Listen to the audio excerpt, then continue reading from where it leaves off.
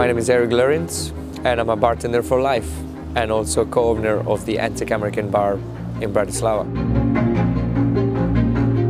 I started bartending in Slovakia very briefly. Then I moved to Prague where I took a bartending course and then I came back to Bratislava where I worked in a very first cocktail bar for about three and a half years before I moved to London about 14 years ago at the American bar at the Savoy in London.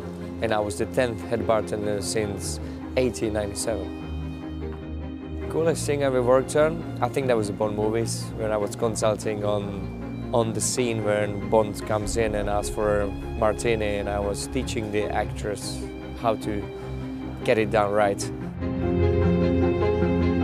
Uh, during my career, I went through a few competitions. One of the biggest competition was the uh, World Class in 2010, which I won the global final. That was a big achievement, followed by International Bartender Year in 2011, and that was uh, the New Orleans, where I got voted as a Bartender of the Year.